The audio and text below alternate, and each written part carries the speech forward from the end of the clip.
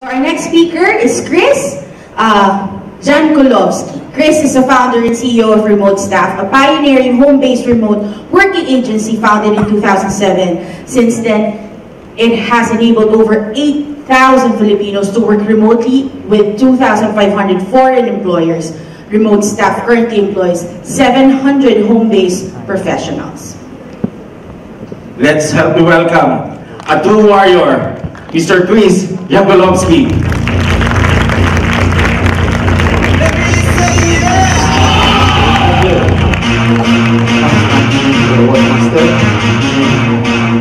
Good morning, Philippines. Hello. This is awesome. This is awesome because I've never been Filipino facing before. I've always spoken to the foreign employers. It's awesome to speak to the Filipino people. Do you know that I've been devoted for the last 12, 13 years believing in you, representing you to the foreign world? And the world has embraced Filipino talent. Never before than now. Right now, it's a global phenomenon. And what's best is that the world loves Filipino talent.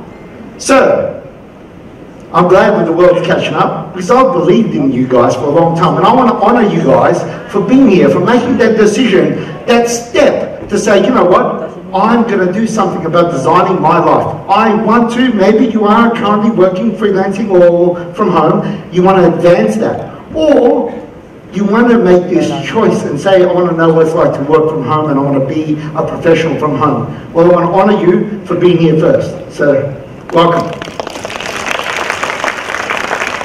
Uh, I have to also say a special thank you to all the crew here uh, because I think they've done an amazing job. And I have to also thank my wonderful wife, wherever she is. I can't quite see her here. But thank you, Rika. I think uh, me, and me and my wife are very passionate towards this cause of wanting to make a difference, in particular to the Filipino people.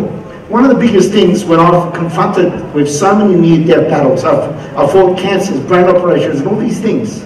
And every time I fight these battles, I come out with um, this hunger. Instead of like relaxing and going, oh, I just had a second brain operation, half my body doesn't work, my kidney, I've only got half a kidney, all this trouble, maybe I should back off. I, I seem to do the other thing. Every time they nearly kill me, I seem to get up whenever I get over these challenges, and I want to press that accelerator, take on life even more, to do more. I'm hungrier. I get hungrier. so I'm a very hungry person right now. uh, um, I'm trying to get away from that light because I want to see you all. But I can't see you because I've got this bright light. I can't run away from it either. So, shall we commence? So today's goal is to help you be prepared. To be prepared of the pros and cons, the challenges of remote working, and then tomorrow we will be discussing the types of jobs you can get from freelancing, independent contractor, remote worker, what are the differences, what are the similarities, what are the options for you, what's right for you, we'll be discussing these things tomorrow. So, but for today, today is a, a good fun session because today I'm also going to talk a little bit about my personal story. That in itself is a massive story. Thanks for the lights dimming a little bit. now I can see you a little bit better. Um, my personal story is quite unique and I'll start with that. Um, let's see. I'll leave it on this slide for a second. Um, in 2004 was when my remote working dream happened. I was working with a friend who understood the digital landscape, the online world. I didn't understand it at the time. I was a typical business guy in the offline world. and so I wanted to understand this digital world because I love that idea of traveling the world, not saving for money, traveling the world and coming back home broke. But I wanted to travel the world and get wealthier in the process. I wanted to enjoy working from anywhere, shut my laptop down and go, hey Paris, I'm here today. It's awesome. And then what's even more better is when I look in my bank account and go, yeah, I'm not going broke, it's awesome. Um, so that way I can enjoy. So for me, my remote style dream first started with the idea of saying, let's just travel everywhere. And I did for about a decade. And yes, my wife was with me everywhere. Um, And, and one of the things that I've learned from this journey is that when you're remotely working and you get there like a typical tourist, you realize, what's the rush? I'm not in a hurry to, to, to run around and see all these things. And so we just tone down first. Hey, there's my wife. Hello. Rika. Um, so, yes, I'm still a love bug. Um, so, we, we, we went to places, we enjoyed ourselves for six weeks at a time. We found that six weeks was the sweet spot where we could settle in. Imagine being in England or Paris or Dubai or God knows where, and you're there for six weeks. You can really immerse in the culture. You can really understand their worldview. You can really see what people queue up in the lines at bread shops in in um, in uh, Port, uh, Portugal. You know, it's fascinating to explore the world. It's such a big world out there. Or it's such a fascinating world to explore the Philippines and Southeast Asia in general. It's awesome. There's so many ways that one can remotely work. So I'm a fan of remote working. That's an awesome dream. I can talk about it all day, but I better tone down. um, I want to now share very briefly remote staff and how remote staff came to form. So in 2004, I had that dream of remote working. Now I've got double the lights. Okay, so I can't skip the lights. Um, so and when I when I just when I learned that uh, uh, more about this remote working landscape and I understood the potentials, uh, then what I realised was, you know, this is very very very viable. Um, but something happened. I had a brain operation. I was having these headaches. I had the operation. I got scanned on a on a Tuesday, and they said, "Oh, on the Thursday, you're going to have a brain operation." I'm like, "Whoa!" This is in 2005. I go, "Whoa!" You mean someone's going to cut into my head? They're going to enter my mind space? Are you for real? No way, man. They go, no, we discovered a big five centimeter tumor and you have to have an urgent operation. As a matter of fact, it's so urgent that you let this loose too long. If you just have one bad session in the toilet or trip or something, you're a dead man. So, so right away, well, I had the operation. I'm all good. I came out okay. I'm alive. But I'm in the hospital lying there, and they said, Chris, with your hereditary condition that prone to cystic tumors, you need to get yourself checked every year. And I do. I manage it now. But back then, when you're in your 20s, you just, you, you know, you think you live forever. Anyway. Uh, and you think, ah, doctors, rubbish, DNA stuff. What are you talking about? I didn't believe him. anyway, so when I'm in the hospital, just had the brain operation, they discovered I'm riddled with cancers. Yes? Riddled with cancers. They, they removed my right kidney two months later. They said I had these tumors here, four at the time. So two months later, they take that out. I had these cancers with me for almost a decade. And then they wanted to do stuff with my left kidney. I said, guys, hold off, hold off. I'm a dead man as it is. So I'm taking the year off. I'm taking the year off. I'm taking 2006 off. Hey, if you've only got a little bit of time left to live in this world, the currency of life is time, yeah? So I wanted to do something with whatever time I had. I didn't know how much time I had to live. So I took the year off. I traveled the world. My second chance to life was to take a year off and online date and have fun with women everywhere. so that was my second chance to life as a younger man in 2006. Yes, I enjoyed the world. I went anywhere, wherever there was an online dating site, I had dates lined up before I rocked up. What a way to explore world. You know, go to China and miss Shanghai, take you to restaurants and culture museums. What a way to travel. Anyway, that's my 2006. But in that process, I, I, I managed to come to the Philippines. Oh. Now, I wasn't looking for love, but I found love. I got the love book. So I fell in love with a Filipina. It wasn't just physical, it was mental, spiritual, emotional. It was so connected. And I fell in love with the country. I fell in love with the people. I was like, wow, look how hardworking, look how committed, family orientated they are, how there's so many lovely things. There's tropical landscape, I like that too. Uh, it's nice to be a little bit taller than everyone. uh, it was all awesome. I loved it. It was new, different for me. But I, I went back, after the year, I went back to Australia. and I'm working away as a marketing consultant, and somebody goes to me, uh, Chris, now it's time, from a kidney doctor, he goes, now it's time to operate these other four tumours, uh, cancers. And you're going to be left with a third of a kidney. And I said to him, Doc, listen, Mr. Doc, mate, how much time do I have left with my original kidney? He goes, maybe two years, maybe 10. No, no, no, that's a big difference. I want to know how long do I have a half kidney to live with or a third of a kidney. He goes, if you look after yourself and whatever, you might get 10. I get done. You give me 10 years, Mr. Doc, and I am going to employ thousands of people. I just felt like I had to do a noble pledge or something. I thought I was bargaining for my life again. And he, he, looks at me, the doctor looks at me and goes, what are you talking about? You know, it's my job to look after you. What are you, why are you making a pledge to me? So he dismissed it, he carried on. And before I walked out the door, he goes, Chris, how many people do you employ? I go, none. And that was in uh, late November of 2007. So since then, we've employed 8,000 Filipinos exclusively focused on working remotely from home. So we love it. So I've lived up to the pledge. Ah, very, very happy. I need an applause. Come on. I want to hear it. The reason why I've requested for this applause is because I'm still committed. A matter of fact, I'm so committed that I'm committing my life to representing Filipino talent to the world. How's that? So, now, shall we commence?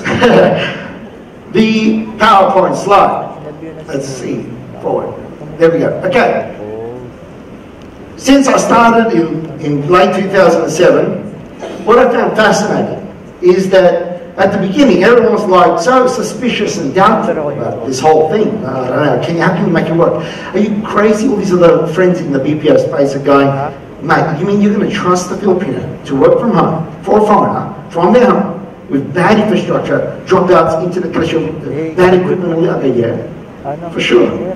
Have you seen the traffic here? He's like, um, it makes sense. Hello.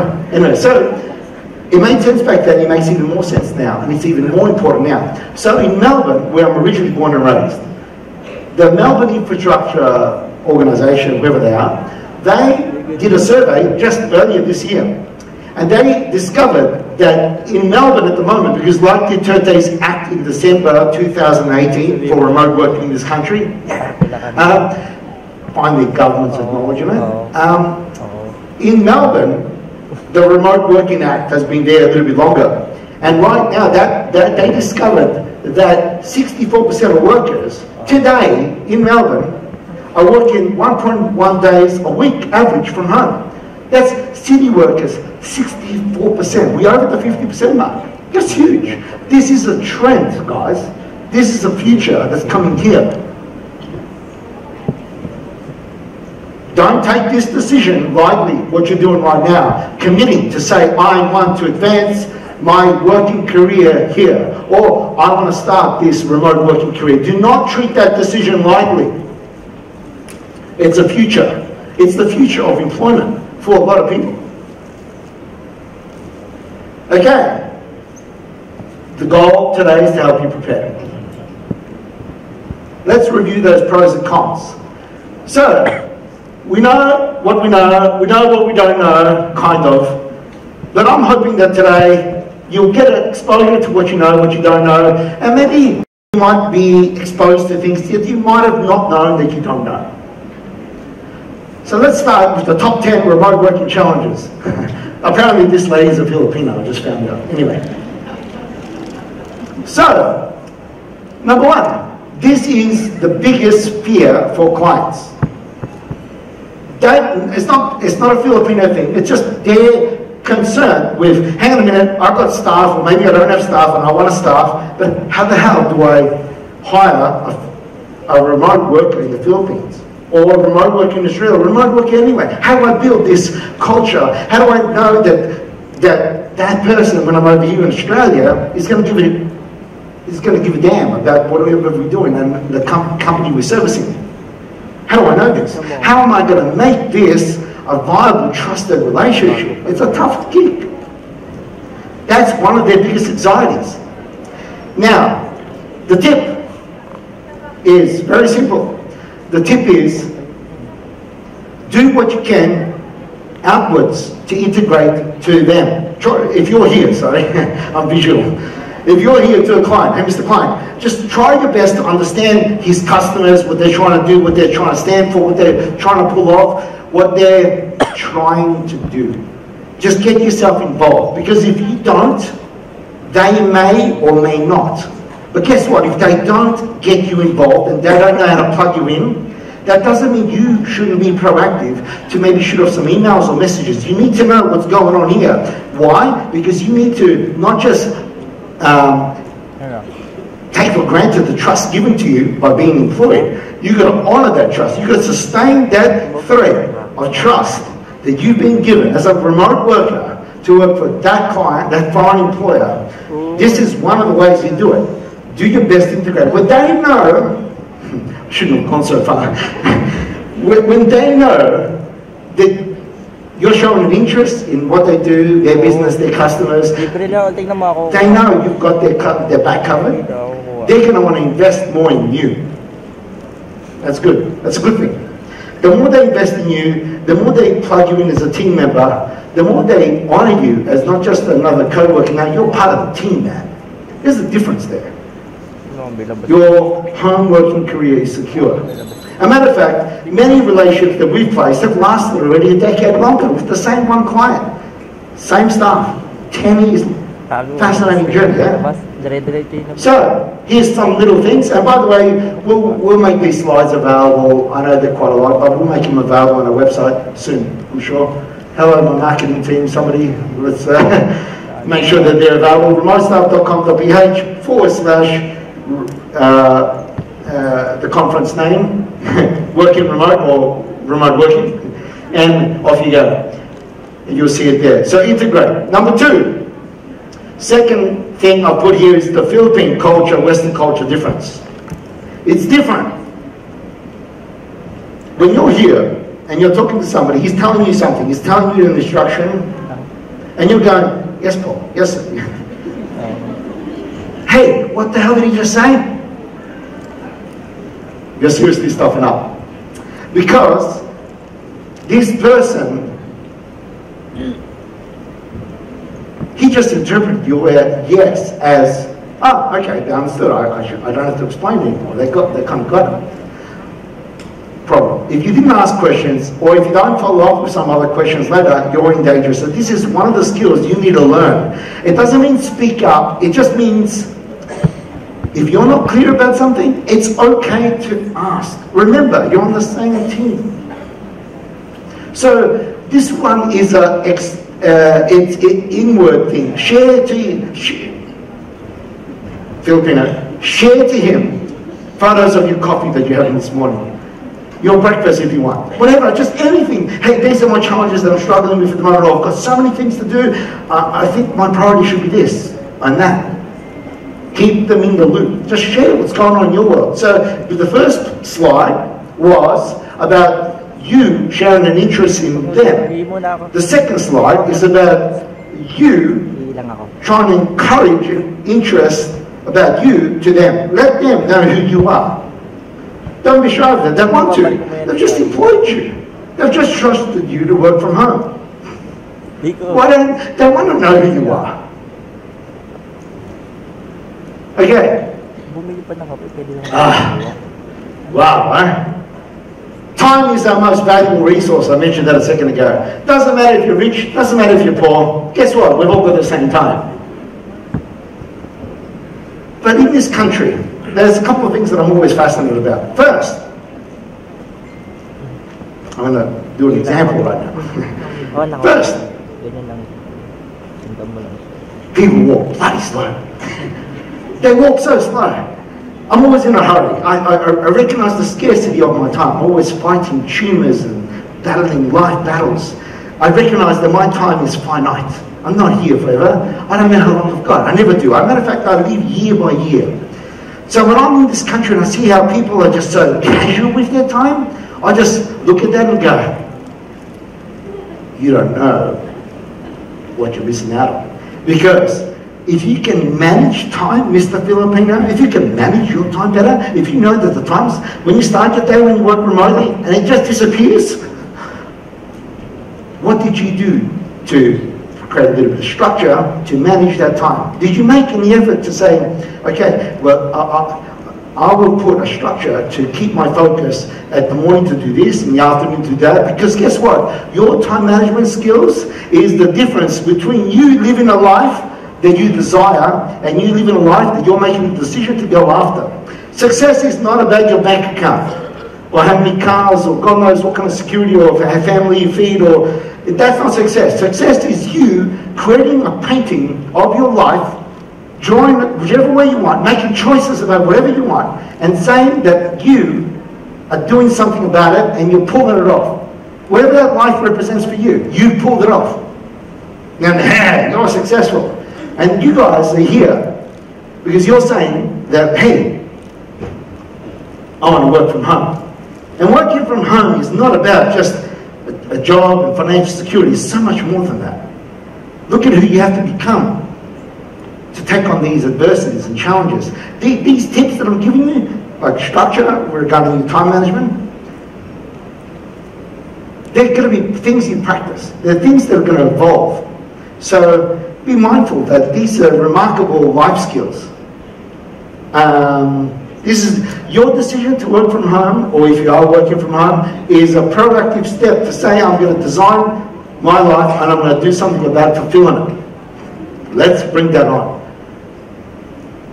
Communication, yes, communication. Everyone's talking about communication. It's so easy to misunderstand when you're in halfway around the world. If you're not, if there's a foreigner talking too fast or he's a very thick Australian accent, lucky I've got a neutral one, anyway, if, and still Australian, but let's say you're talking to a foreign employer and you don't understand him very well. He gives you you're so excited, like imagine this, you're Filipino, you're so excited, yeah, I'm gonna be a remote worker, woo! And then you're talking to the client. Ah, shit. He's giving you all this responsibility. Oh, I should this this way. Vague instructions. Now what? So, tip, align. Anytime you don't understand this guy or he's giving you too much responsibilities and it hasn't been clear, you must speak up. You must say, like, hey man, like, okay, I, I of get it, get off the call, maybe it's more comfortable for Filipino and not necessarily to interact straight after, but, it's better that you do. But anyway, if it's not, shoot off an email. Do something, whatever's appropriate for your work style. Because your, your communication, you guys got to get on the same page with this person. It's a must. Or if you're part of a team, you got to get connected to the remote manager of that employer. If you're not understanding each other properly, seriously, it, it's, a, it's, a, it, it's one of the biggest things we've seen where employers lose out on this dream of saying, oh my God, it's so expensive to employ people in Australia. Oh wow, look at the Filipino, the, the, economic of scales. This is awesome. Yes, I can finally not be under-resourced. I can, I can actually have resources. Yeah, this is an amazing thing. But what gets this guy to quit? Is this guy to quit in you? What we notice, it's often this. Because the Filipino is here. They sound amazing, they talk really good, but they're not comprehending. They're not following up with questions or they're not quite on the same page.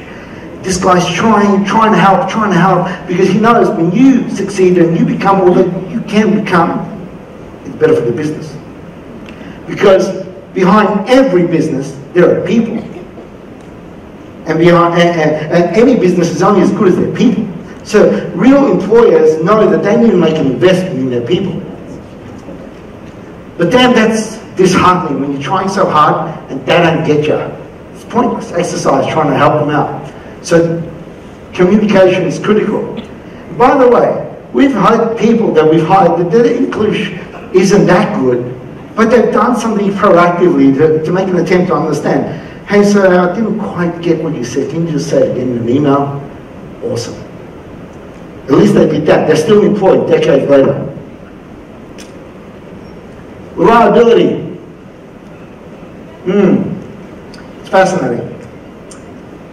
There are employers, because I've met so many. Some have monitoring technology, some don't. The ones that don't manage their remote workers through this, reliability. Saying, hey, Mr. Filipina, Filipina, here, take on this job. Sure, okay, I understand it. What's the deadline? What's the deadline? Deadline, what an important word. Because these people manage each other through deadlines. That's one way some of these employers do it, who don't use monitoring technologies or agencies. They use deadlines. They, they say, you own this job. You do it. I'll support you, whatever you need, but you're doing it this person is going to do nothing effective if they don't know what the deadline is. And if they know what the deadline is, this person is going to do nothing if they're not sharing their progress, if there's no, if there's no working. So, okay. Performance and productivity. Remember I said time is our currency of life? Well, in business, it's productivity. Productivity is the currency of an employer and employee relationship. You've got to be productive to be viable, to be employed. So, I love when you ask that old saying, you want to learn how to be productive? Go give a job to a very busy person, give them more. They just do more. Because they know, they've already got that structure, that routines, those habits to take on more, to do more. So I urge you, take on more. Routines set you free. Trust me, when you've got routines going on with your productivity, you will surprise yourself. Okay, simple, basic, but it is a challenge. Time zone. Man, when you're working for a US client, or Australian client, or UK client, wow, you know the time zone is about to change in Australia in August, uh, in October. Everyone's going to start at 6 a.m. That doesn't mean you wake up 5.55 and start at 6. you know, you need to be in bed by about 9. You need to be up by about 5, 5.30, 5.20 and be ready for 6. Um, this sleep, staying healthy, is important a lot more than you realize because you're in a vehicle, this biological body of yours. You need to maintain it. You need to look after it, hydrate it, service it, and most importantly, get the sleep you need so you can focus and be productive, apply yourself. Yes, it's very basic common sense, isn't it?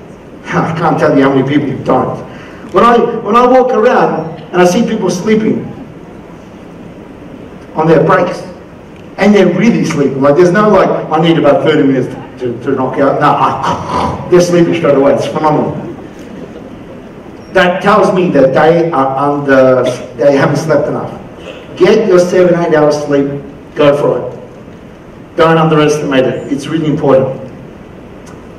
Security and privacy, it's funny. In the Philippines, there's somehow no concept of the idea that you're talking to someone about something that's commercially sensitive meaning do not share it in a public setting. Don't be at a coffee shop or somewhere in a co-working space talking loudly about something commercially sensitive. Be mindful of that. Or you're working on a free internet connection somewhere. Do you know it's extremely easy to see what anyone around you is looking on their screens at any time? Be careful. What if you're doing something very sensitive and somebody sees it? Oh, you know, bank accounts. Yes, we've had one hack. Okay. Distractions. How awesome. You're working from home. Of course you're going to get distractions. Rooster, neighbor, people. Tahor, God knows what. Somebody is going to distract you. But these are nothing compared to something else called loneliness, isolation, the internet itself. They're distractions, big distractions. How easy is it to get carried around basketball news or something and then realize, oh, it's already been one hour. or you're, you're, you're just not in the groove because you just haven't spoken to a human being for about three days. And you're just, you can't get over this isolation, loneliness, it affects your focus. And also, you, instead of working really productively and efficiently and effective, it's dragged out. and you're not getting anywhere. You're not making enough progress. So watch out. When you feel that, when you feel that, go get support. And if you can't get support, this is a very, very real tip that I'm about to say. It's very, very important, and I really mean it. Get out of your house. when all else fails, seriously. Like at the end of the day, if you can't break out of the state that you're in because of loneliness and isolation, seriously, get the hell out. Because when you get out, you're going to freshen your mind, you're going to get some fresh air, you're going to shift your focus, you're going to maybe speak to somebody. That little casual conversation is all you need to feel good. Okay, next. Client-facing skills. Ah, that's funny. This is the last one. Alpha, direct, a challenging person. I will confront anyone to, to challenge. Yeah. So, and I want to challenge anyone, especially my workers. Why? Because that's how you grow. So what are these client-facing skills? Well, remember, I just covered many of them. But just remember, you're on the same team. So if they're, if they're intimidating, they talk too fast, and all this kind of stuff, just remember, you're on the same team, you're halfway around the world, they're not going to be able to bite you. but you've got to understand, how do I build trust? How do I build a relationship with this person? Moving on. Very quickly now, I'll run through the um, benefits, a few, very few. You're going to be more productive. But what I love most is, other than the uh, sick leaves and all that, that there isn't any, um, is that deep, uninterrupted work. It's so awesome when you've got something in your mind, you've wanted to do it, and then you're there and you're in the zone. You're getting it done. Just sent, huh? done. it's awesome. You can do that. When you're in office, you've got distractions. Hey, you come to this meeting or this or that or but at heart, there's, you're the only person that's controlling your this bubble of focus. And then when you control that bubble of focus, it's amazing how productive you can get when you go to deep work. So that's why remote workers are generally more productive, especially those that have gained experiences and control their focus. If you've got control of your focus, you're a powerful person. all right, these are all the lifestyles, but I'm going to touch on one point, happier life. I think um, Mark, the, the speaker before, just touched on it. Happier life in a nutshell. Matters. Your desire to be happy should be at the front because when you're happy, you're going to be more productive. You're going to be better. You're going to you're going to seriously excel. So being happy really matters because we have only got this one life. And when are we going to be happy? Don't put off your happiness. Make it a priority. It matters much more than you realize. Because when you are happier, I believe as Mark mentioned, you, you, you, really are going to excel. You're gonna you're gonna become more. You're gonna be and, and, look at all those awesome benefits. Eh, the lifestyle benefits I don't need to cover. I think we all know about it. But let's just say the, the, we've done a calculation. It's very basic. Do you know just getting out of the commute an hour and a half each way averages? That's a one month a, a year in your life back. How much can you upskill yourself or socialize or be with your family or do so much? This is time, the most valuable resource we have. Getting out of the commute, drama, is the most incredible thing you can do here. You win back a time, you have such an advantage. But this is what everyone doesn't see. Do you know that when you're a self-employed professional, this is what's amazing. When you're a self-employed professional, yeah, you got a job. Woo, you got a job. you got an income. But what's most important is, I'll do it over here. When you're a self-employed professional, when you've been working remotely from home, and you've gained experience and exposure of those 10 challenges and you've overcome them, do you know that those are the stepping building blocks that you got to acquire skills. Yes, my balance is affected, but anyway, you got to you, you to you got to make that progress to become one day a business person, an entrepreneur. These are really powerful attributes and skills. So many people that we've employed from a long time ago, and somebody here in this room, have moved on from their remote working jobs and now doing their own businesses and things because they've attained the skills. And what a great way to get these skills. You have not done it the entrepreneurial way. Entrepreneurial way is here. When you get knocked out, you gotta stand up, you got broke, you did this, you completely stuffed it. It's a really painful, expensive learning. But as a self-employed professional, you get to attain these amazing skills of managing your time, managing your priorities, understanding how to deal and operate in deadlines, how to communicate. You, you see, it's like a train. These are really powerful skills. So remote working is not just about lifestyle, it's about this future. An exciting future. It's an investment you're making. Done. Thank you everyone. Thank you so much, so we have here a certificate of appreciation. Ah, yeah. And picture. Yeah. This certificate of appreciation is presented to Chris Gangulovsky for inspiring hundreds of Filipino remote workers to take action in reaching their dreams and lifestyle. Thousands. Thousands. Working Remote Conference 2019 held at SMX Aula Convention Center. This date, September 13 and 14, 2019. Signed by Rika Jankulovski, our CEO, of Paystop and Remote Staff. Awesome, man. Thank you. Thanks, man. Guys, Remote Staff is sponsoring 55 slots for a fun networking night at Prego Territoria at the fifth floor. So yeah, so that's free pizza and beer for you. So just visit the booth. Just 55 slots, so senior slots at the booth. I, I thought it's important to network amongst each other because Yeah. often in these events, you, it's amazing, you know, the support that you can build amongst yourselves. Enjoy. Thank you. Ah, wifey! Photo up Thank you. the na- wife. Just a correction, um, I am not the CEO of remote staff. I'm the CEO of working remote and pay staff. Sorry, he's a bit confused, but it's okay. Okay, so yeah, uh, everything that Chris said earlier, yung mga nag-aspire mag-freelancer, totoo yun. Uh, been working as a freelancer for three years now and those